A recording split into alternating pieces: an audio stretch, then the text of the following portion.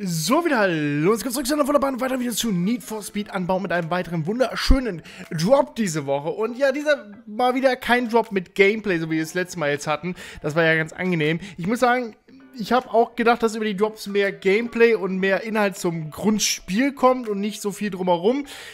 Aber das ist anscheinend nicht der Fall. Also wir haben heute natürlich eine, also eine Sache, die in-game drin ist. Es geht nämlich heute um den Soundtrack. Also wir hatten natürlich dann schon Sachen mit äh, Modesachen hier, Modesachen nicht da. Das ist alles schön und gut, aber das war jetzt auch irgendwie nicht so das Gelbe vom Ei. Und wie gesagt, heute geht es um den Soundtrack, was ja an sich erstmal ein wichtiger Teil ist. Wie gesagt, ich natürlich würde jetzt gerne noch ein bisschen mehr Gameplay sehen oder, oder, oder, weil es ist nicht mehr lang bis zum Release des Spiels hin. Und so ein Soundtrack hätte ich auch kein Problem gehabt, hätte ich den ab Release erst im Spiel für mich entdeckt. Nichtsdestotrotz, warten wir mal ab. Wie gesagt, wir haben noch ein paar Drops und ich hoffe, da äh, wird noch ein bisschen was kommen. Ähm, die Woche ist ja noch ein Under the Hood Artikel geplant vom äh, Braddock. Der hat ja gesagt, da kommt noch ein bisschen Schüsselmann Und ich glaube, da sollte auch ein bisschen über Multiplayer kommen. Also dementsprechend, ich glaube, diese Woche könnte der Under the Hood Artikel interessanter sein als der einzige, ein, eigentliche Drop. Aber das werden wir heute gemeinsam einmal rausfinden in diesem schönen Video. Ja, wie gesagt, es geht heute um den schönen Soundtrack. Und bevor wir äh, ein bisschen drauf eingehen, ich habe mir nämlich gerade schon bei Spotify reingehört, Link dazu packe ich euch mal unten in die Videobeschreibung. Lesen wir noch mal ganz kurz den Artikel gemeinsam durch. Da würde ich sagen, gehen wir mal kurz rüber. Weil, ja, es gibt einen schönen Artikel mit sehr, sehr viel Blabla. Und da gehen wir doch mal ein bisschen drauf ein. Wie gesagt, ich habe mir den Soundtrack schon mal angehört, dazu gleich mal mehr. Ich erzähle ein bisschen so mein, mein, äh, mein ob, ob, mir der gefällt oder nicht. Da können wir mal gleich drauf ein bisschen einquatschen. So, der erste Schritt zur Selbstentfaltung besteht darin, sich selbst zu entdecken. Wer du wirklich bist und welche endlosen Möglichkeiten in dir schlummern. Findest nur heraus, indem du die Welt um dich herum erkundest. Musik macht uns für uns je, macht für macht, deutsche Wörter. Musik macht uns für jene Welt, ihre Bewohner, Gemeinschaften, Kulturen empfänglich. Musik ist eine der ultimativen Mittel, um sich selbst zu entdecken und stellt sich seit jeher ein wichtiges Element in den Spielen, der Need for Speed Rider. Muss man wirklich sagen, die Need for Speed Soundtracks sind, glaube ich, mit der, die bekanntesten und beliebtesten Soundtracks der, der Spiel, Spielgeschichte. Es gibt klar natürlich einige Videospiele, die haben natürlich auch sehr gute Soundtracks, aber ich muss sagen, die Need for Speed Serie hat schon sehr, sehr viele geile äh, Soundtracks rausgebracht. Und ich muss auch sagen, ich bin eigentlich nie bei dem Need for Speed vom Soundtrack super enttäuscht gewesen, weil der Soundtrack, der im Spiel enthalten war, meistens sehr, sehr gut zum Spiel gepasst. Also zum Theme des Spiels, zum ganzen Vibe des Spiels, weil der Soundtrack eigentlich, muss man sagen, durchweg sehr, sehr gut abgestimmt. Also da kann man, kann man sich nicht beschweren, also dementsprechend, das passt. Neben unserem anpassbaren Wagen bringt es auch der Soundtrack ins Spiel der Realität näher und dich deinen Träumen. Der Soundtrack von Need for Speed anbauen nimmt dich mit auf eine Reise durch die Hip-Hop-Kultur aus aller Welt und hat dabei mehr als 76 Tracks im Tank. Ja, ist mir sehr stark aufgefallen, es ist Hip-Hop-lastig, wirklich sehr Hip-Hop-lastig. Also so, wer jetzt mal so ein bisschen Most Wanted Rockmusik und sowas im Hintergrund hier und da ein bisschen erwartet, der wird da leider enttäuscht. Es ist sehr, sehr Hip-Hop-lastig, was ich persönlich nicht schlecht finde, muss ich aber sagen. Diese bieten verschiedene musikalische Perspektiven und Interpretationen. Finde dich selbst, um dich zu entfalten, darum geht es. Der Soundtrack mit Songs aus aller Welt soll die für die Need for Speed 3 typische unverkennbare Atmosphäre schaffen und gleichzeitig Abwechslung hinsichtlich Genres, Intensität und Emotionen bieten. Ein besonderes Fokus liegt hierbei darauf, den Millionen von Need for Speed Spielern auf der ganzen Welt Musik von unfassbar talentierten Künstlerinnen näher zu bringen, die nicht aus dem englischsprachigen Raum stammen, weiblich und oder BOPC, ich weiß nicht, wie das ausspricht, sind und die sie ansonsten womöglich nicht für sich entdecken würden. Ja, das ist nämlich schon mal ein ganz wichtiger, krasser Punkt, der mir aufgefallen ist. Der Soundtrack ist sehr international geprägt. Also hier sind wirklich, also es ist wirklich alle Sprachen dabei. Es ist wirklich Wahnsinn. Es ist diesmal nicht nur 100% Englisch und wirklich, wirklich, wirklich vielfältig. Aber um, bevor ich jetzt hier weiterlese, kann ich hier direkt schon mal ein bisschen reingehen, wie ich so finde. Bisher bin ich nämlich sogar, muss ich sagen, recht begeistert. Wie gesagt, ich habe schon mal so ein bisschen durchgeskippt, ein bisschen reingehört bei Spotify, wie der Soundtrack mir so an sich gefällt. Und so vom Durchweg-Vibe, muss ich sagen, gefällt der Soundtrack mir gut. Vor allem, wie Need for Speed Bauen so sein möchte von seiner Art und allem drum und dran, muss ich sagen, wirken alle Lieder sehr passend zur Atmosphäre und zum Thema des Spiels.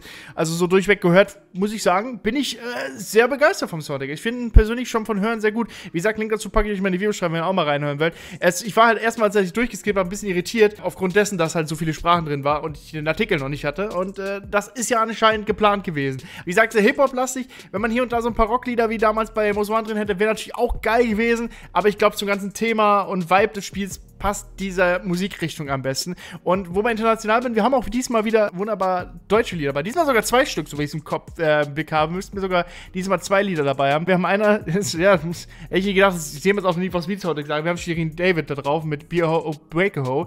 Ich muss sagen, ich finde das Lied gar nicht mal so scheiße. Ich bin da, bin da wirklich ehrlich. Und noch äh, Bones MC und Acker außer Kontrolle mit äh, in meinem Bands. Und das muss ich sagen, das werden alle natürlich im Englischsprachigen dann nicht verstehen, was die Jungs und Mädels da singen. Aber äh, in meinem Bands finde ich natürlich mit dem 190er E von ASAP Rocky im Hintergrund gesehen, ein sehr geiler Liedwahl, muss ich sagen. Fühle ich ein bisschen. Aber das so auf, aus deutscher Richtung. Aber wie gesagt, sehr international. Aber ich bin an sich so vom Grundvibe und der Grundstimmung, die der Soundtrack so, äh, sagen wir mal, rüberbringt, doch sehr zufrieden. Gut, lesen wir mal weiter. Äh, Chase Strait, Senior Brand Manager von Need for Speed, war beide zusammenstellung Soundtracks zu NF bauen federführend. Merkt an, Spielerin werden wird besonders der internationale Hip-Hop-Sound auffallen. Nahezu die Hälfte aller Songs auf dem Soundtrack werden in einer nicht englische Sprache gesungen. Da ich liege Fokus auf Kunst und Künstlerinnen, die in ihrer jeweiligen Heimat für Furore sorgen. Wir hoffen, ihnen so eine globale Bühne ziehen zu können. Wie gesagt, den, den, den Grundeinstellung finde ich cool.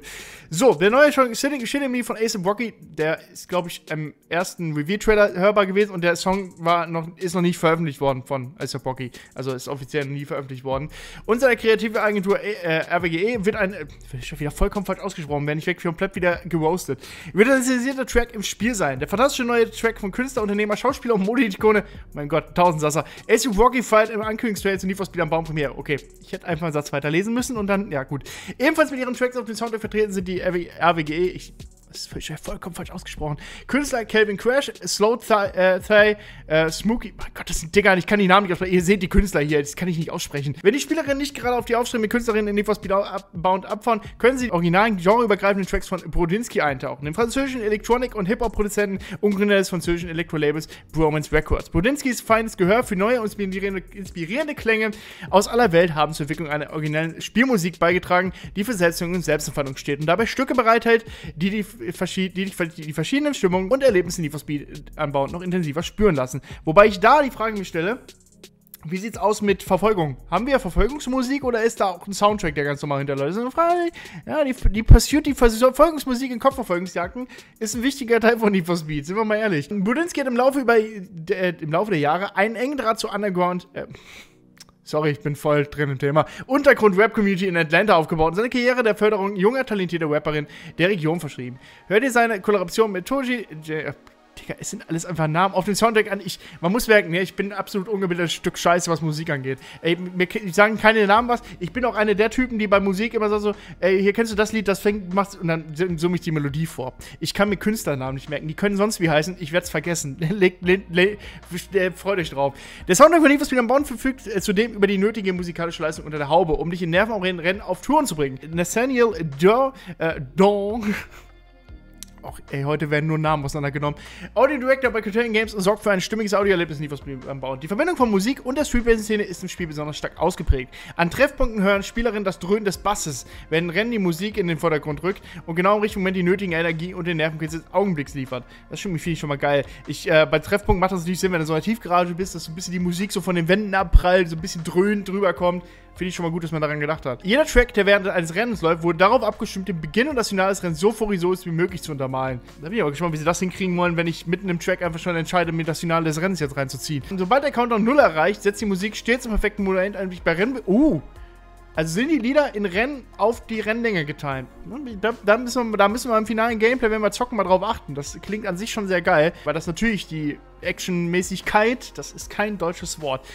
Die, der rennt natürlich geil unter mal. Also das finde ich eine äh, sehr, sehr coole Idee. Der Selbstempfindung ein zentraler Aspekt in Need am Bauen ist, stellen wir die Decals von diversen Künstlerinnen des Soundtracks zur Verfügung, mit denen du deinen Wagen individualisieren kannst. Diese Option stellt Erneuerung in der Need for Speed-Reihe dar. Endlich kannst du der Konkurrenz zeigen, welche Songs du in deinem Wagen laufen, während du sie im Rennen abhängst. Die Fahrer in deinem Wagen mögen auf die Straße von Lake City begrenzt sein, die Musik jedoch nicht, die mit, dich mit auf die ganze Reise äh, Welt, bla bla. Jetzt stellt sich nur eine Frage, wieso solltest du bis zur Öffentlichung warten? Genau, die Liste ist nämlich schon äh, online. Und äh, hier haben wir die Liste nebenbei. Hier seht ihr komplett alles, welche Lieder dabei sind. Wie gesagt, sind einige. Und wie gesagt, man kann sich das Ganze schon auf Spotify anhören. Und wir haben hier nochmal eine extra Seite, wo nochmal ein bisschen ein paar auf der internationalen Künstler gegangen werden, aus welchen Ländern wir haben. Also wie gesagt, hier aus jedem, alle Länder haben sie ein paar verschiedene Künstler gelistet. Da gehe ich jetzt mal nicht drauf ein, das ist mir jetzt mal vollkommen Bums. Aber ja, wie gesagt, aus Deutschland wird hier halt Shirin, Day Shirin David geführt. Und wie gesagt, wir haben noch ein zweites Lied im Soundtrack. So viel auf jeden Fall dazu. Soundtrack haben wir gehört. Wie gesagt, ich habe jetzt im Hintergrund natürlich keinen Soundtrack laufen lassen. Ich glaube, äh, ihr kennt das Ding. Also beim Spiel kriegen wir das hin mit Ab Abmischung. Hier kriege ich sonst